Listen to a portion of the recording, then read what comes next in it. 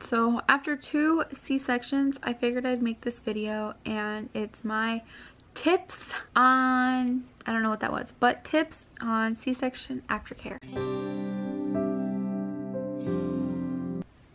So a quick brief of my knowledge of having C-sections is I had one scheduled and one that was I knew I was going to have the C-section but it ended up being an emergency like a week ahead of time. So that's my knowledge on C-sections because yeah, one was almost five years ago and the other one as this is being recorded was three weeks ago. So I'm gonna do this because I felt like I couldn't really find a lot of tips on aftercare because I mean I always get asked but I feel like you know that's something you would ask Google and it was just like taking care of your incision but I'm talking more about taking care of you. So my first one and it'll probably be like mentioned repeatedly throughout this video is take it easy seriously something that I did not do this time was I did not take it easy and every night that I did not take it easy I always regretted it. Just remember a healthy mom and a healthy baby is the most important goal. Above all else that's the important goal and eventually you'll get back to it. You just give yourself time. Take your medicine like beforehand. Like always be on top of your medicine because it really helps if you set a timer. Like, not a timer, set an alarm for every mine was every four hours. So every four hours set an alarm to take your medicine. Gowns and loose dresses. You're not going to want to wear pants. You're not going to want to wear pajama pants. You're not even going to want to wear leggings. I know.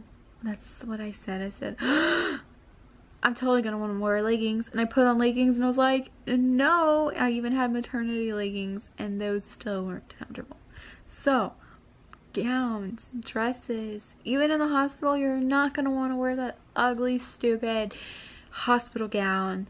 You're want to wear your own comfy clothes. And I literally probably wore the same dress for like two weeks because it was just so comfortable and easy to breastfeed in. wear the mesh underwear. Trust me, girlfriend, you're gonna want to wear that mesh underwear. Like, that's one thing that everyone's like, oh yeah, I changed out those immediately. No, don't lie. Don't say that. You know you didn't because for one, it's so much easier on your C-section incision. Two, I mean, why would you want to bleed, honestly, bleed in your underwear? Unless you bought like specific kinds um, if you don't want to wear the mesh underwear, I would recommend getting a belly bandit or a, um, what are they called, C panties. And it's pretty much for a C after, um, after a C-section, it has a little patch for your incision so it doesn't rub it and it actually pulls your stomach in. So if you're not going to wear the mesh underwear for at least the first few days, make sure it's okay with your doctor first. Um, it was not okay with my doctor to wear a belly band or bandit or anything like that. And I didn't even get like the time frame. So I'm hoping at my four week checkup he could be like, yeah, you're good. Go ahead. um, walk. Walk as soon as they tell you to. Uh, for me, for both of it, it was about 18 hours after. My second one, I could feel my feet a lot sooner, but I had a nurse that was not used to C-sections. She was in the um, delivery part of the vaginal delivery part of the hospital and I was just put over there for some reason. So she did not really understand C-section so she was so scared for me to move. Stool softener, sweetheart. You have like with C-sections, I don't know if it's with vaginal births as well, but with C-sections, you really want the stool softeners, just telling you. A pillow for sneezing, coughing, laughing, anything. Anytime you laugh, sneeze, cough, even talk at times, it hurts. um, I had a little small travel pillow and that's what I used for, like I would take it with me. And it also helped wonders when I was headed home and that car ride. Accept and ask for help anytime that this pregnancy I would not accept or ask or not this pregnancy but this postpartum part I have not asked for help I have not done even accepted any help um, I don't know why I'm in this mood that I just want to do it myself. Also remember that six months after your C-section, up to six months is the most important part of your body's healing. So don't rush into things. Take it easy and just, I mean, you went through a major surgery and that's what a lot of people just brush off that a c-section is not a major surgery. It is a major surgery. And just don't give up. Like just be patient and be positive. Um like i said give yourself time. And like i said that six months are crucial. Your body still um has the pregnancy hormones so you'll still have loose body fat. You'll still um I mean, you're not just gonna go right back. I mean, some women do, but not all women. And I mean, just embrace it. I mean, you did just have a baby, so don't worry.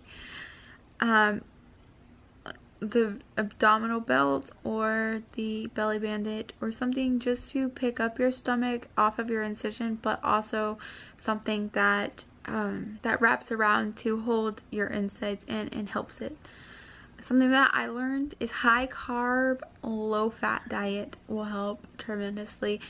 Um, that's just to give you energy, to help your body go right back into it and you get all of the the vitamins that you need.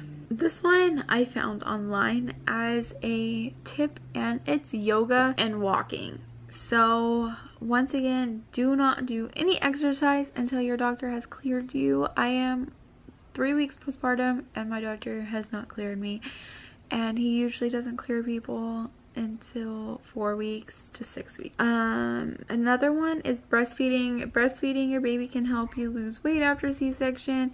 It is one of the most effective ways to reduce belly fat and you must breastfeed your baby exclusively for six months. Now if you can't breastfeed, that's okay.